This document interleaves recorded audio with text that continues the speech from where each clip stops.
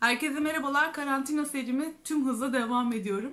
Karantinada flörtöz makyaj yaptım bugün sizler için. Yüzümde görmüş olduğunuz bu pembe nude makyajı yaptım. Videonun ayrıntılarına geçmeden önce benden hoşlanırsanız lütfen aşağıdan kanalıma abone olmayı, oradaki küçük çan işaretine basarak bildirimleri açmayı ve aşağı yorum bırakmayı lütfen unutmayın. Hadi videoya geçelim.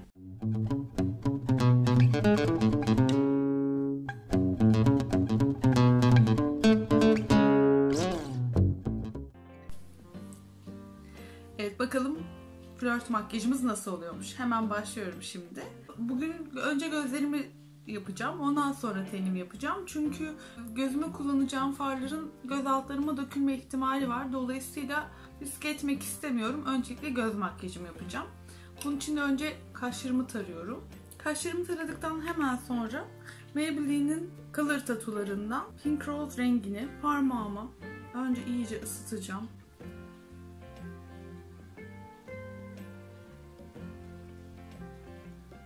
Revolution'ın e, Reloaded paletlerinden Affection'ın şöyle tamamı me- metalik ve saten resimli farlardan oluşan bir palet var. Bu paleti kullanacağım. Şu alt iki rengi, pardon şu iki rengi ve şu pembeyi kullanacağım. Bu pembeyi göz içlerimin ortasına kadar getireceğim.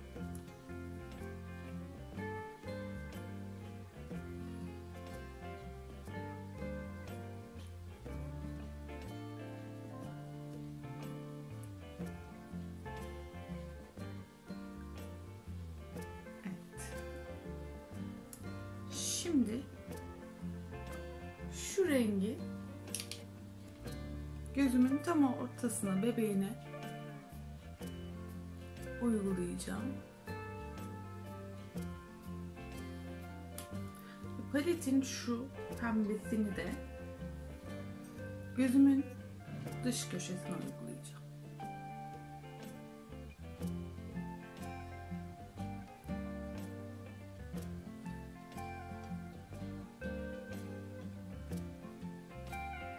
Parlak simli ama geçişli bir renk tonu elde ettim.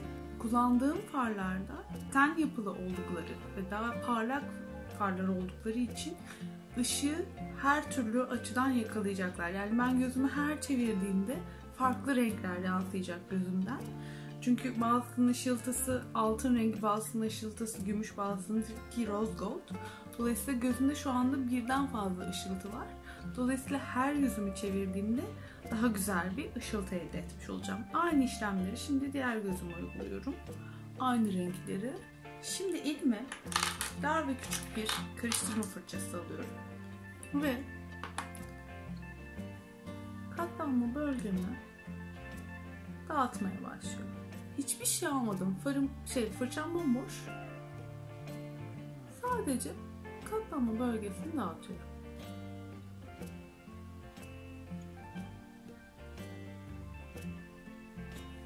tamamen dağıttım. Şimdi burada isterseniz mat bir kahverengi alabilirsiniz. İsterseniz benim şimdi yapacağım gibi bronzer paletinizi kullanabilirsiniz. Ben şu kahverengiyi alacağım. Fırçamın ucuna çok hafif kaslanma bölgesine bir gölge vereceğim. Şimdi düz bir fırça alacağım. Buradaki şu iki pudrayı birbirine karıştıracağım. Ve kaş altlarımı bununla süpüreceğim.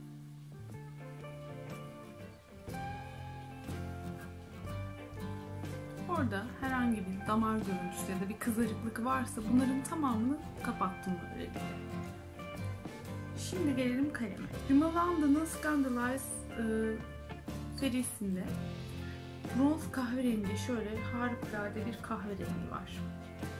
Bu kahverengini ben göz altlarım boyunca gördüğünüz gibi kahverengi kalemi gözümün altına boylu boyunca çektim. Aynı işlemi şimdi diğer gözüme uygulayacağım. İki gözümü de eşitledim. Böylelikle. Rimelimizi de sürelim. Ben bugünkü makyajımda Golden Rose'un Smoky Lashes maskarasını uygulayacağım. Maskaramı da uyguladıktan sonra kaşlarımı tarıyorum ve artık yüz makyajıma başlıyorum. Evet, önce favori bazımı yüzüme uyguluyorum. Golden Rose'un bu Luminous Finish'i. Çok az alıyorum. Ve bunu tüm yüzüme yayacağım. Bazımı sürdükten hemen sonra NYX'in kapatıcılarından kendi ten rengimde bir kapatıcısını parmağımla uygulamayı tercih ediyorum ben. Hem kapatıcıyı da ısıtıyorum böylelikle. Fondöten olarak L'Oreal'in True Match'ini kullanacağım.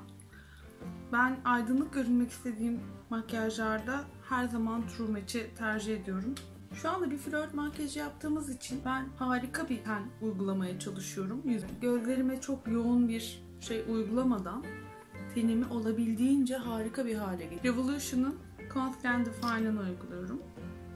Bence bu kapatıcı ve bu fondöten birlikte çok iyi çalışıyorlar. Böyle bir düz fırçayla tampon tampon kapatıcımı uyguluyorum. Böylelikle çok daha fazla bir kapatıcılık elde ettim ve gölge ışık oyununu tam anlamıyla aldım. Evet artık pudraya geçebilirim. Pudra için ben az önce göz kapaklarımda kullandığım bu Elf'in kontur paletindeki şu iki hem bu şeftali hem bu beyaz pudrayı birbirine karıştırarak kullanıyorum.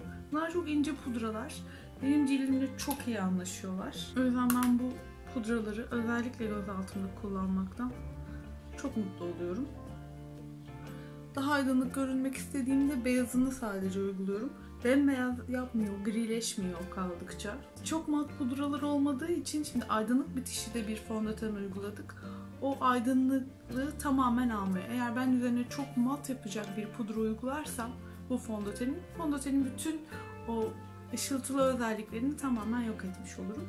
Bunu da tabii ki istemiyorum. O yüzden de böyle bir yol izliyorum.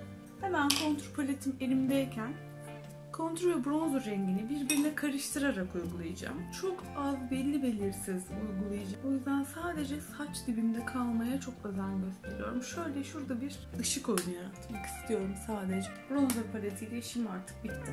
Gelelim allık paletine. Gene Elf'in allık paleti. Ve çok güzel şeftalileri ve e, pembeleri olan bir far paleti. Ben buradaki açık pembeyi kullanacağım bugün. Sadece dokunduruyorum çünkü çok pigmentli ve ben yanaklarımın çok renkli olmasını istemiyorum bugün.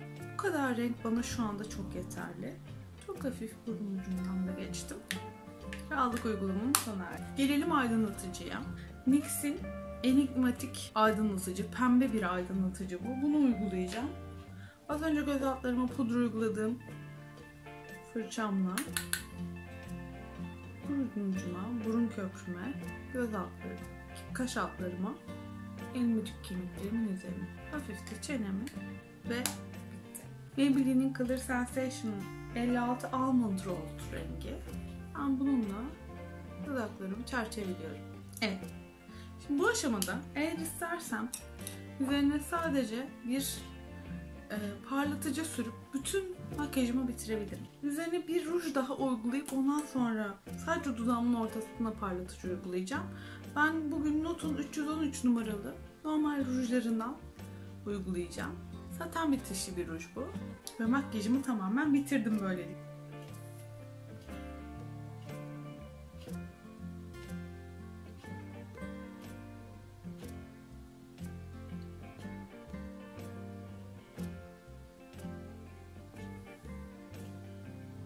Beni izlediğiniz için hepinize çok teşekkür ediyorum. Yeni bir videoda daha görüşmek üzere. Eğer kanalıma abone olmak isterseniz aşağıdan kanalıma abone olabilirsiniz. Oradaki küçük çan işaretine basarsanız ben her video yüklediğimde size bildirimler gelir. Ve böylelikle videolarımı kaçırmamış olursunuz. Yorum yazarsanız mutlulukla okurum. Görüşmek üzere, hoşçakalın.